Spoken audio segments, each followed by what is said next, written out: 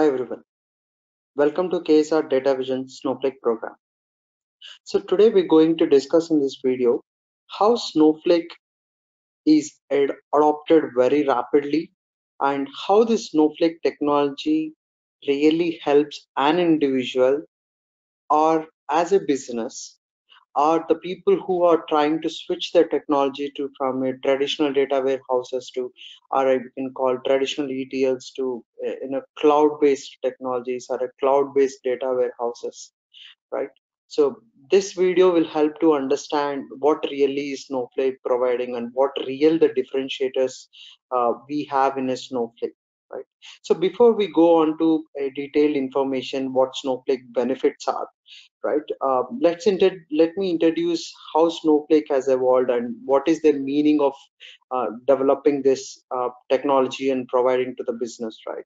So Snowflake has reinvented, uh, or I can say reinventing. The reason is they are still growing and they're still building up a new uh, feasibilities or flexibilities or concepts, new concepts. They're coming for a um, you know every day to day right?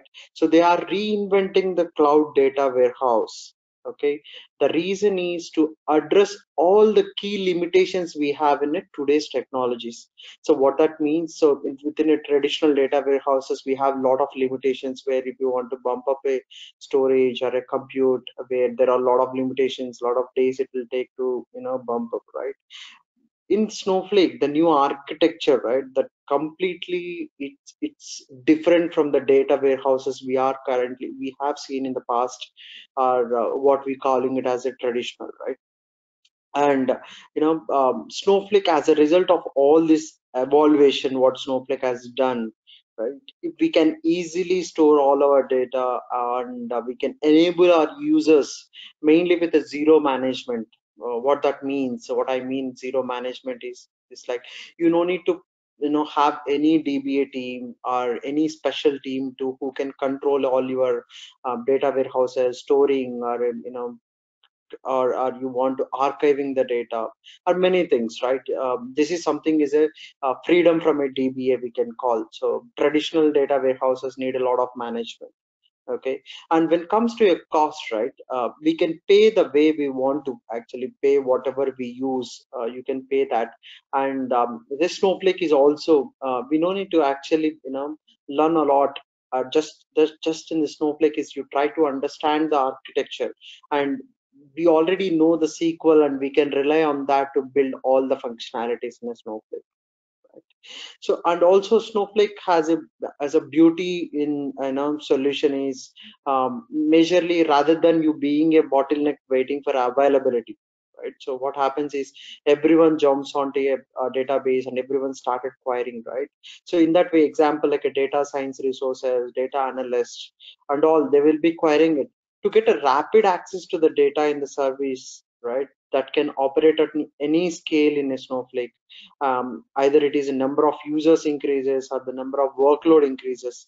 So anything snowflake can able to accommodate. So that's that's the main motto of the snowflake to overcome all the traditional uh, limitations. Let's see little more in detail of what benefits we have with the snowflake data cloud. So the first slide says that the constraints we have with the traditional data warehouse right?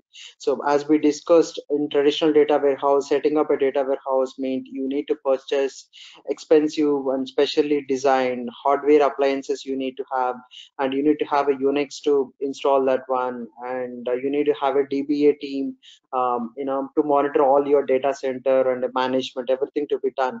But in snowflake it's totally a contrast to the you know traditional data warehouses.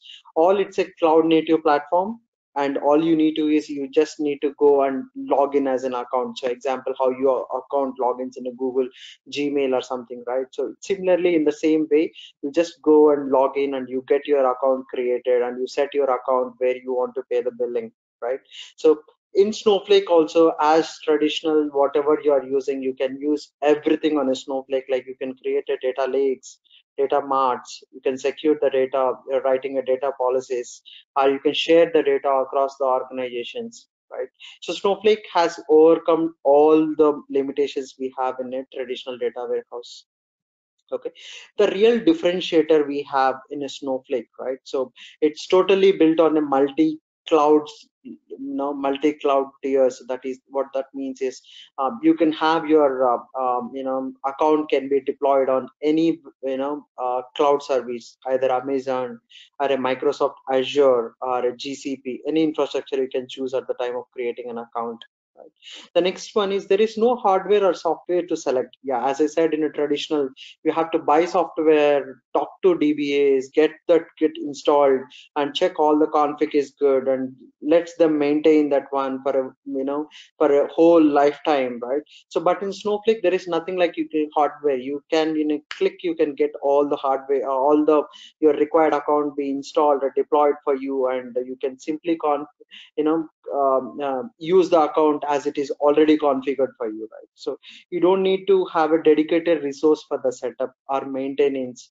or support of in-house servers. So in-house servers is nothing but a company who have maintained their own data centers or who are being given a third-party data centers right? So you don't need to maintain anything here. Snowflake will provide everything. It's an it makes your life easy to get the data warehouses to be available for you within a seconds or within a minutes right so the next one says but what sets snowflake apart from its architecture and data right? Architecture. So mainly the main cause of this um, the main computes are the main speed up of the snowflake are main um, you can say that the major the major feasibility or flexibility comes with an architecture. Apart from that snowflake have a very standing concept called as a data sharing capability. So who doesn't have an account? For example a as a data engineer has prepared some data and he has to share with the data analyst he doesn't have an account. So there is a there is a concept called as a data sharing concept in a snowflake. You can simply create a share and provide to the data analyst. So though he doesn't have an uh, account he can use a temporary account he can run his all metrics on the data. So this is one beauty which doesn't have in it um, many cloud services are in it. Traditional anyhow traditional doesn't have that right? So and the last point says the snowflake architecture allows storage and compute to scale independently.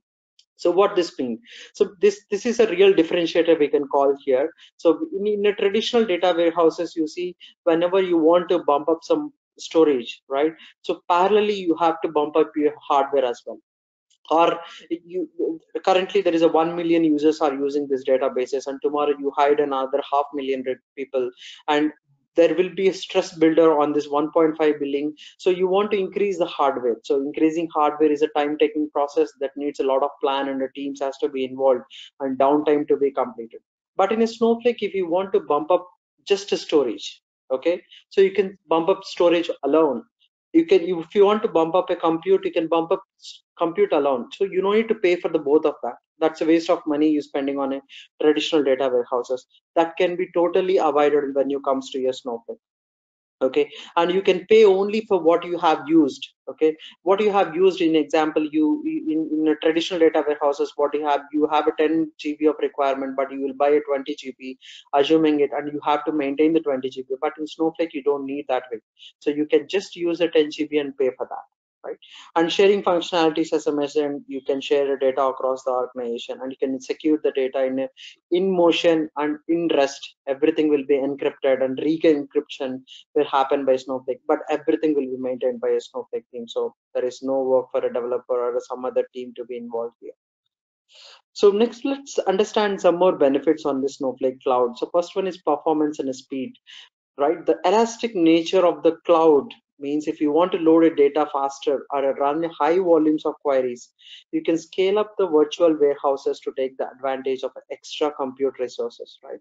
So example you think there isn't some very important kpis you have to run so that your management is waiting for that information to be revealed so that they can run some campaigns or they could go to the customer and offer something right? So if you want to run that kind of faster queries so it's it's just a few clicks away that you increase your warehouses from a large size to extra large or extra large to extra extra large right? You can just bump up in a few clicks and in a, in a, in a seconds of matter it will able to bump up and it will run it, it will provide extra compute resources to it and make the results uh, come very faster right? So this this can't be done on a traditional data warehouse. So it's one of the limitations we had in a traditional uh, data warehouses and snowflake provided as it is been deployed in a cloud right? So as soon as we scaled up and um, we don't need to wait. So as soon as the query is completed you can you, you know automatically it can scale down and it will reduces the money also you spend for the you know running faster right? So if you reduce this if you scale down the warehouses and pay only for the time you have used right? So that's that's that's a better uh, limitation overcome we had in a snowflake so next comes to storage and support. So in traditional warehouses some traditional day warehouses doesn't uh, have a feasibility of storing the unstructured data or semi-structured data. So it has to go in a very uh, you know structured information or either using a etl you need to make it as a very structured right? But in a snowflake it's it's just like it can able to uh, have unstructured data or semi-structured data or structured data. So anything can can able to digest okay? What that means right? So when you load it into a table right? So it has to able to you know capture the data. So in snowflake it provides a one of the data type called as a variant. So that variant can able to handle any semi-structured data. So as a row it just provides it just able to keep it um, stored in a particular row with a 16 mb of a row size.